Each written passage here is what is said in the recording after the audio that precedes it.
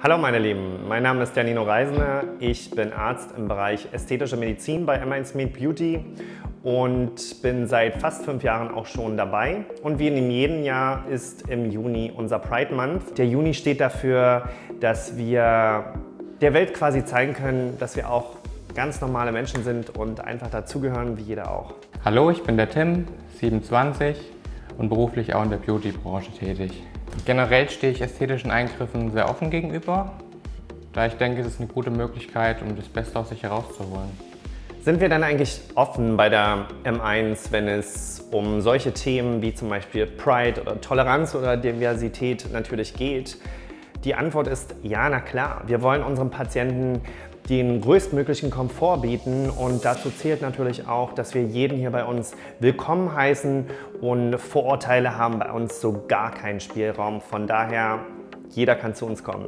Meine bisherigen Behandlungen waren zum einen die Unterspritzung des Kinns, um das Gesicht optisch ein bisschen markanter erscheinen zu lassen und zum anderen Injektionen von Botox in Stirn und Zornesfalte, da ich von Natur aus eine sehr starke Mimik habe. Da wollte ich einfach ein bisschen der Faltenbildung voraus sein. Gibt es irgendwelche Unterschiede zwischen einem schwulen Mann und einem heterosexuellen Mann oder einer lesbischen Frau und einer heterosexuellen Frau? Oder was ist der Unterschied zwischen einem transsexuellen Patient und einem non-binary Patient?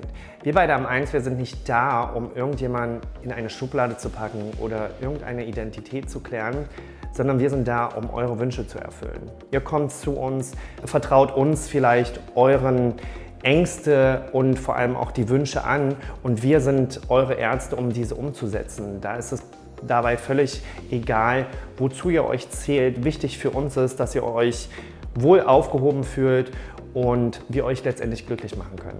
Gut, meine letzte Behandlung ist jetzt schon etwas her und ich würde gern das Ganze wieder etwas auffrischen lassen.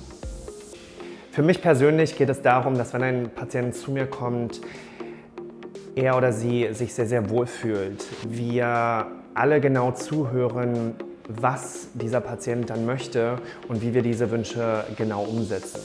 Und es ist ganz, ganz wichtig dabei, dass der Patient sich nicht schämt oder es ihm unangenehm ist, sondern ein gutes Gefühl hat, dass er zu uns kommen kann. Generell fühle ich mich bei M1 immer gut aufgehoben, da ich auch das Gefühl habe, dass jeder als Mensch akzeptiert wird.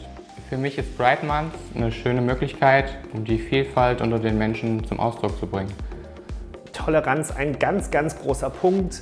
Wir sind wie eine große Familie zusammen und ich persönlich denke, dass es sehr, sehr wichtig ist, dass jeder akzeptiert werden sollte, sich jeder frei führen sollte und genau dafür steht der Monat Juni, der Pride Month, damit jeder sieht, dass wir einfach alle zusammengehören.